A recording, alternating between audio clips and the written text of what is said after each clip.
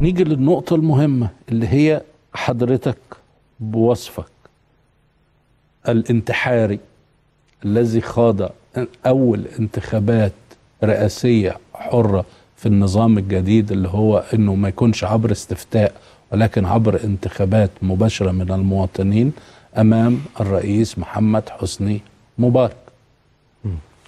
وكن ترتيب أصواتك سواء بالتزوير أو مش بالتزوير هي الثانية. تمام. كويس؟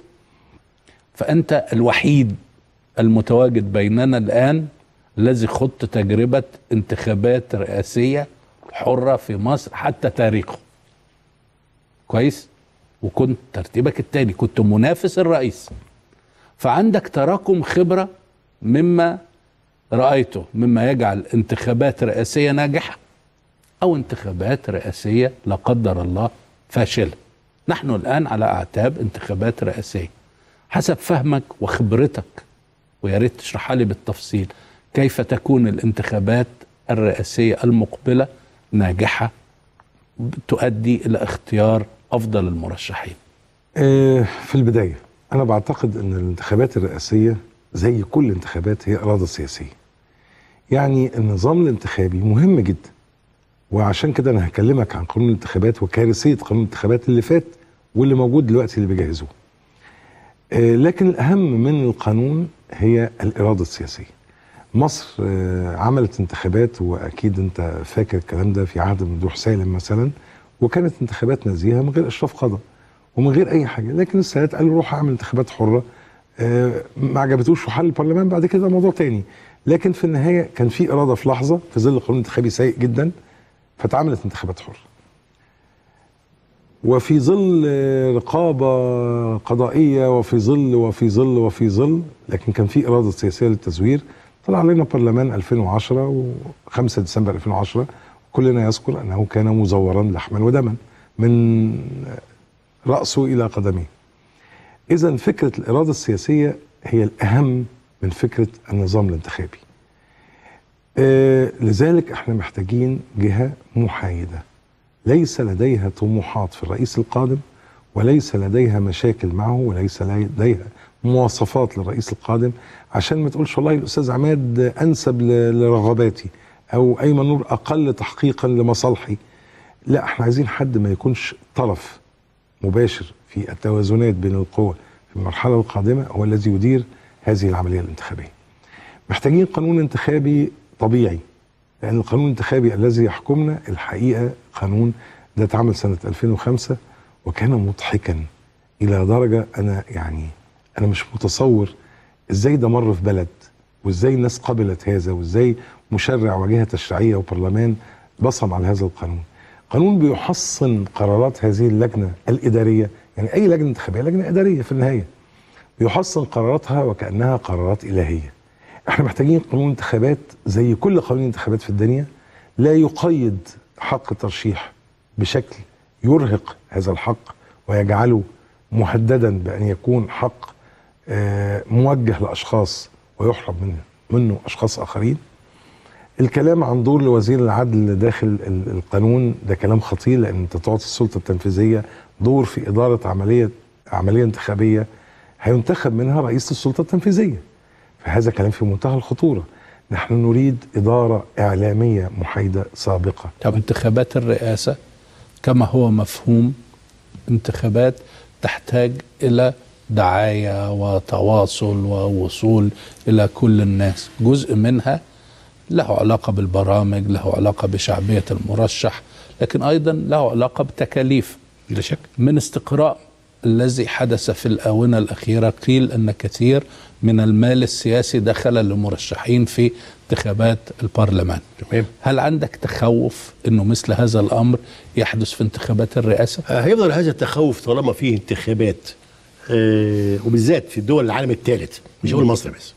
في هناك تخوف من استخدام المال لأن المال بيبقى له التأثير الكبير في لكن في المال المشروع اللي هو من تبرعات الرسمية الشرعية من مناصرين المرشح مثلا. آه، هنيجي نقول اللي آتي ليست لدينا وننتهى بمنتهى الصراحة الجهات الرسمية أو الجهات الشعبية التي تعطي المال بلا مقابل. بيكون هناك المقابل هو ده الخوف ما هو المقابل؟ حتى في أمريكا. يعني حتى في أمريكا اللي بيعطي مال من الشركات الشركات الصناعيه ليها المقابل. بعد كده. إحنا ما فيش عندنا عمليه المصانع أو الشركات اللي هي الكبرى اللي ما بتاخدش المقابل بس أضعاف أضعاف ليس لصالح البلد. هو ده الخوف إلى حد ما. ثم عندنا العملية كيف تستطيع أن تضبط العملية بتاعت هذه الأموال التي تدفع للمرشحين للمعاونه في ترشيح ما نقدرش مهما عملنا الكامل. هنا بقى بنقول عليها الآتي هنا يعني حس الشعب حس من آه، يقال. ويمكن أقولها بقى كلمة كده عاملة. منظر ال- المرشح.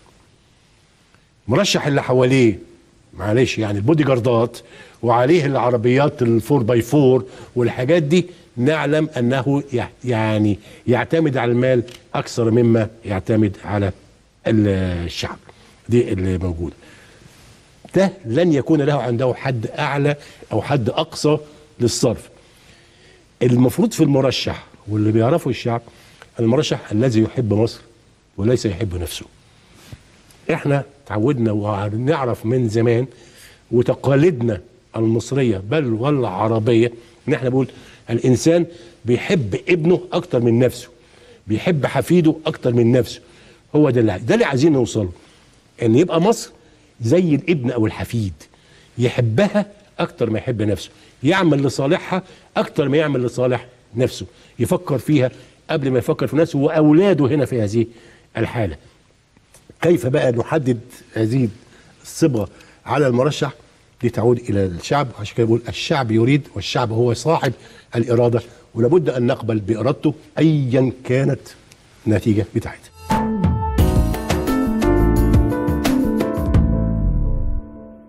حسب استقرائنا لانتخابات البرلمانية حدث تجاوز في الميزانيات أو الإنفاق للمرشحين. ده نمرة واحد. نمرة اتنين سمعنا. طبعا أنا ما عنديش دليل ما معيش صورة شيك بس عن دخول ما يسمى بالمال السياسي. هل تعتقد أن هذه المخاطر من الممكن أن تكون في انتخابات الرئاسة ومن الممكن أن تكون غير عادلة؟ ممكن. إنما هنا موضوع الشفافية والحسابات اللي هتفتح والتقارير اللي هتقدم للجنة الانتخابات وهكذا. إنما ال ال ال في إمكانيات. إنما أنا سمعت زي ما سمعت. واتهامات بتجري يمينا ويسارا. بدون بدون ضابط ولا رابط. وهنشوف لأنه هيكون في لجنة انتخابات بتقول له يا فلان أدي الحد الأقصى بتاعك. لكن لو حصلت لو. حضرتك ك- كمرشح محتمل شفت هذا حدث تجاوز من مرشح آخر؟ هتسكت ولا حت ح...